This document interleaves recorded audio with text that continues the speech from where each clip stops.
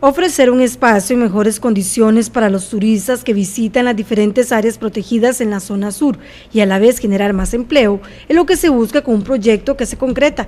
Se trata del mejoramiento de las condiciones turísticas y empleabilidad que incluye a dos áreas de protección como son la Amistad Pacífico y OSA. El ente ejecutor será la Fundación Corcovado por medio de un proyecto que fue aprobado por la Junta Regional de Desarrollo de la zona sur que mejorará las condiciones turísticas. Se trata de una inversión de 1.722 millones de colones. Ya se adjudicaron las obras para el diseño e inspección, por lo que se espera que se ejecute a finales de este 2017. Estamos utilizando esos recursos en una propuesta para poder mejorar lo que es el tema de las condiciones turísticas de las áreas protegidas de la zona sur y que eso traiga empleabilidad también a la zona. Dentro de lo que es el recuento que tiene el SINAC y lo que es el ICT, este proyecto va a alcanzar un impacto sobre 250 mil turistas aproximadamente que visitan la zona sur en los parques nacionales del Parque Internacional Amistad, el Parque Nacional Marino Ballena, el Parque Nacional Piedras Blancas, el Parque Nacional Corcovado, el Refugio de Vida Silvestre Golfito y este, tenemos un proyecto interesantísimo porque lo que viene buscando es mejorando los temas de infraestructura, rotulación y condiciones para generar también empleo. Los recursos serán invertidos en mejoramiento y construcción de infraestructura. En el caso del Pila, ¿qué se concretará?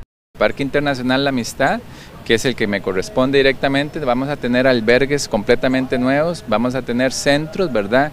Eh, donde las comunidades pueden concesionar el tema, digamos, de hospedaje, podrían concesionar también el tema de alimentación, podrían concesionar, digamos, lo que son los senderos, las plataformas. Es un, es un proyecto interesantísimo porque nos va a dar varios este, escenarios donde vamos a mejorar inclusive senderos de alta montaña, como es el del Valle del Silencio, con un albergue completamente nuevo en la parte alta del Pila y las plataformas de acampados en el Cerro Camuc, que es un turismo de altura, un de un turismo extremo de montaña, que es un segmento nuevo que estamos potencializando. Mientras que en OSA son varias las áreas donde se realizarán obras. En el caso de Corcovado, en el caso del Marino Ballena, estamos buscando las mejores condiciones en la alta visitación de que ya por sí sola se da en esas áreas silvestres protegidas para las diferentes épocas. Entonces vamos a mejorar baterías de baños, vamos a mejorar lo que son los albergues, vamos a generar, por ejemplo, en el, sector de Sirena, el Parque Nacional Corcovado, un puente de más de 100 metros que lo que va a hacer es mejorar las condiciones para que los turistas visiten.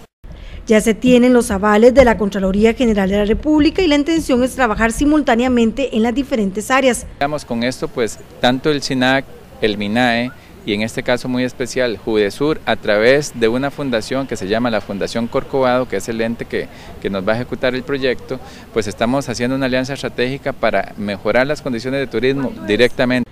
Con esta infraestructura se busca futuro hablar de concesión de servicios no esenciales, como lo que se da actualmente en el Parque Nacional Chirripó.